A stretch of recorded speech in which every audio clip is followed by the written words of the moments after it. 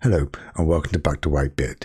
Today I thought I'd do a quick video just to demonstrate how easy it is to load games using the uh, ZX Spectrum core on the MiSTer FPGA.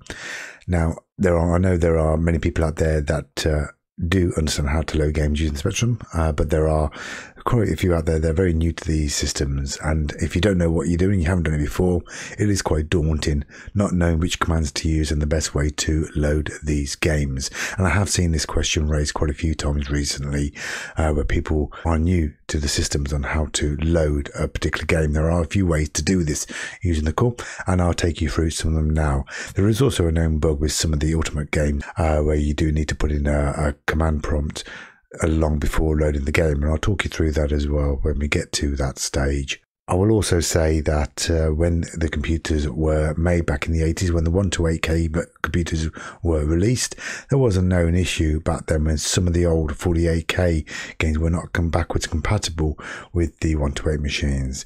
This is one of the reasons why they did put this menu system in on the uh, open screens of the ZX Spectrum and allow you to go down to the 48K basic mode to load some of the early pre 1986 games.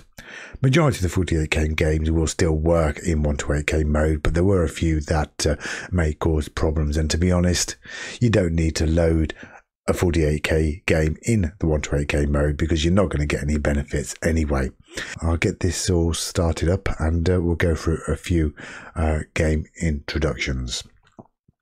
Now, first of all, you let's try and load a standard game. This is the easiest way of doing it, really. You go to tape loader, you hit F12 on your menu system, and you load a game. It's uh,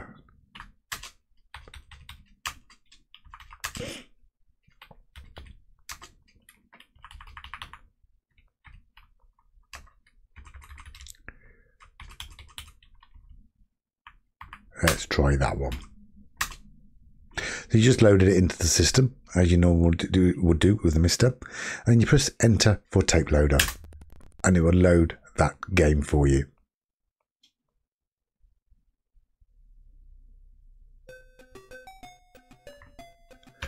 Okay, we do a reset. The other way is and again, this is a slightly slower way if you want to experience the tape loader as it should do. If you press the tape loader button first and press enter, you get the loading screen. And then you can go into the F12 menu again, select your file, and again, select your game, and it will start to load. And you say it's not instant this time, but it just takes you through the normal loading screens that you would get when you play an old classic 80s Spectrum game. Okay, we're not going to wait for that to finish. We'll just reset now. Whoops.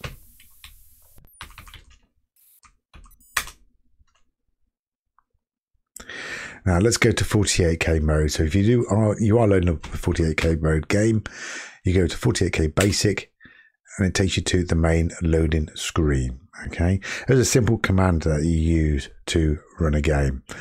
So again, exact same process hit F12.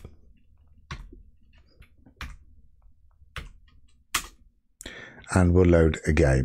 Let's go to Chopper Defense and press enter. And it takes you straight back to that main opening screen of the 48K Spectrum.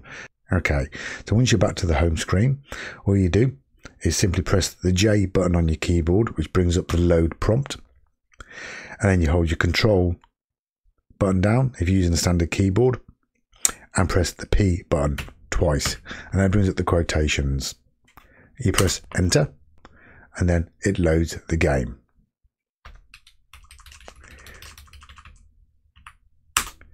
Do a reset. There is an also another trick you can do. So we go to 48k basic you can load up the tap file in exactly the same way. So we use the same one. And instead of using the J load quotation quotation mode, you can quickly hit F10 on your keyboard for the MiSTer FPGA core. And what it will do, it will reset the computer and automatically put load quotation quotation marks in for you. So I press F10 now. And it does it all for you. A simple shortcut to load in a 48k game.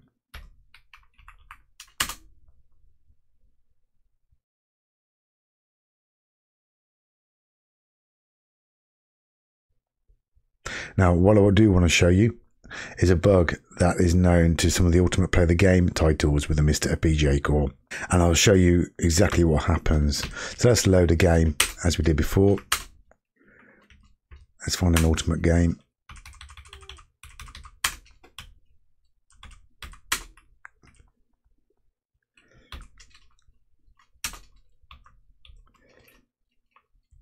Knight Lore.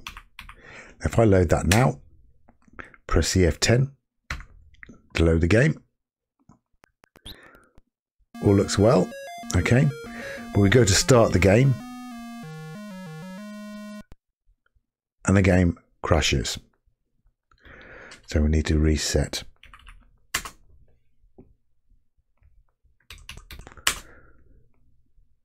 Now, there's a simple command that you can put into your computer to solve this.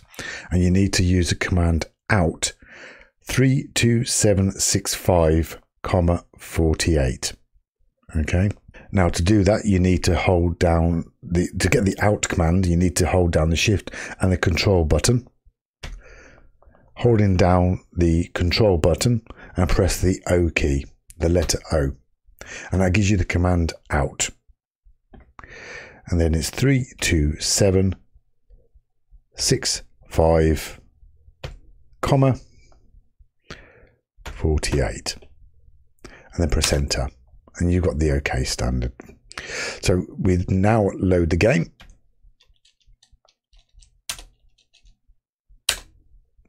And we won't do a reset this time by pressing F10 because it does reset the computer. So we just use the usual J key, load, quotation, quotation. And then Knight Lore loads up again. So let's try and start the game and see if it still crashes. There you go. Works perfectly. Anyway, hope that uh, tutorial helps you. I know a lot of you will already know how to use this, but as I said before, I've had been asked the question quite a few times. What are the, the, the basic commands for loading games on the ZX Spectrum? And if you are new to the system, then you won't know because it's not the easiest system to use. For me, I've always used Spectrums when I was growing up, and when I went to uh, explore the Commodore 64. That was completely new to me, and I had to learn from scratch how to load games for that, and that was quite daunting for me. So I can imagine what it's like for people who are not used to using the ZX Spectrum. Anyway, that's it from me. Take care. Goodbye.